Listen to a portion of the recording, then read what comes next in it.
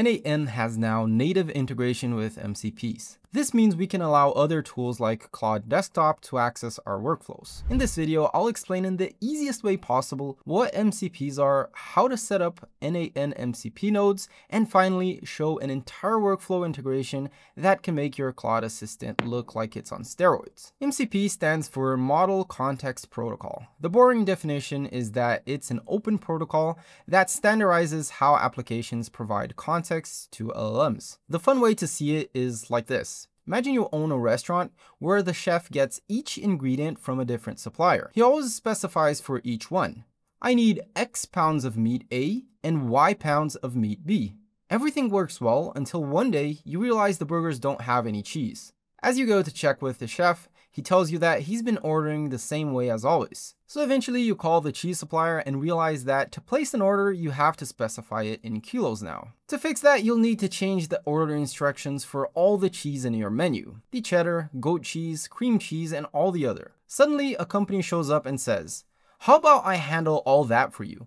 I'll make live updates to the instructions from all of your suppliers. Then I'll deliver them directly to your chef, along with all the ingredients needed. In this analogy, the chef is our AI agent, the suppliers are the tools, the order instructions are the schemas in context, and the company that showed up is what we call MCP. Let's take a real example. Firecrawl is a scraper with 10 different tools. You can ask it to map a URL, perform a web search, crawl a website, and more. Without an MCP, I'd have to configure each one of these different tools within the AI agent. In some cases, I'd also have to specify each expected schema and input. Any changes the tool provider makes to how their tools expect data would force me to come back to my workflow and make adjustments. MCPs help in two ways. It helps the AI agent by showing it the live, up-to-date context and giving it the ability to use all the tools from the suppliers seamlessly. It also helps the tool provider by allowing them to easily hook their tools up with the MCP server. The MCP then takes care of providing the LLM with everything it needs to process requests using those tools. This is just an overview of what MCPs are, but there is much more to how they provide sufficient context for the LLM to work effectively with the connected tools.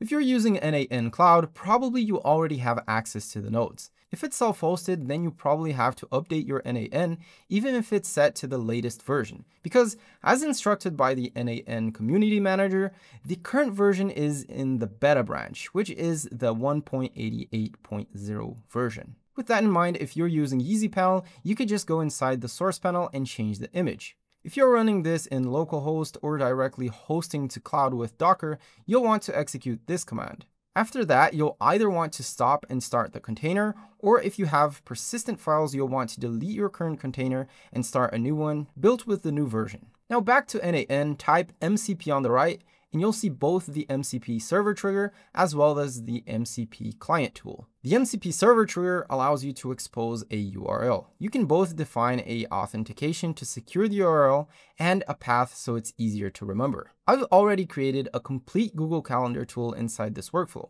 Remember that when executed by another workflow node needs to specify the input schema as this will be passed on to the LLM. In this scenario, we're building the MCP servers, so we act as the suppliers from the initial example. Now, all I have to do is attach it as a tool to the MCP server trigger like this, and click these buttons so that the LLM knows which fields it needs to fill in. It's a good idea to provide a description in the inputs, so the AI gets the complete context. Now let's add the Telegram tool as well.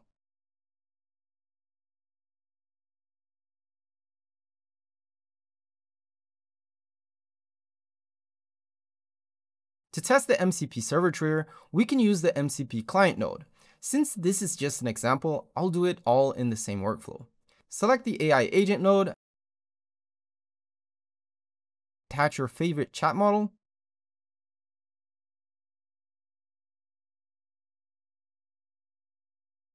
Now for the tool, select MCP client tool. You'll have to add the SSE endpoint, which is exactly the URL found back in the MCP server trigger. Remember to activate your workflow or hit the test workflow button if you're using the test URL. We're able to use this same MCP server for different workflows. Because of that, we're able to select different tools we want to use for each case. By selecting the select option, you can then choose which tools you want to use. Since we want to test all of them, let's just leave it set with all. Now we can chat with the AI agent, which now has access to the tools provided. Let's add a Redis memory so we can actually be in a conversation. Let me first test the Telegram tool.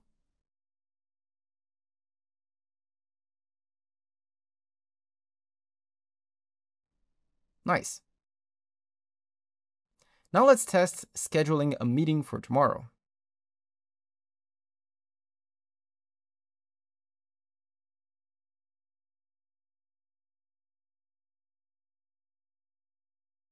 Awesome.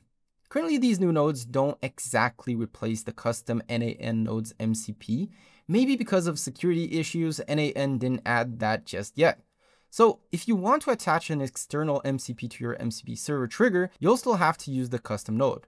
To use Firecrawl, you'll still have to place in the list tools, which retrieves the context as well as the execute tool that uses the context provided.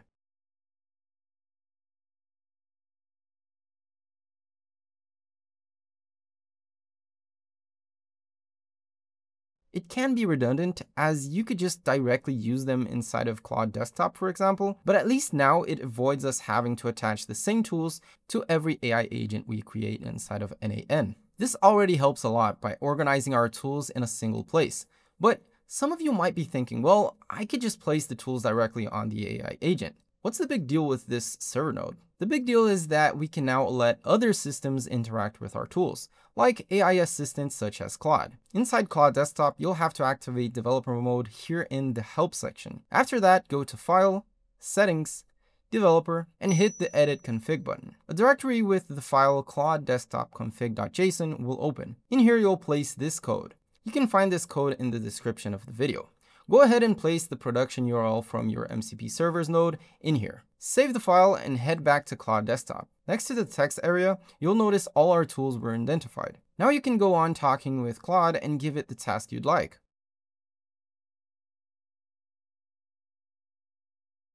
Allow Claude to use the tools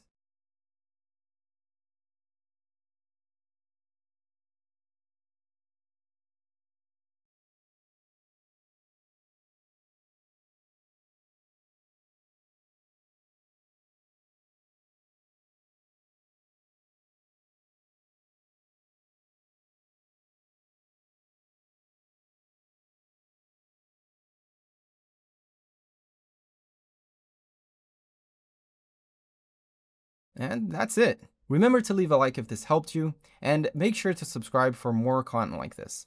Thanks for watching, and I'll see you in the next video. Till then.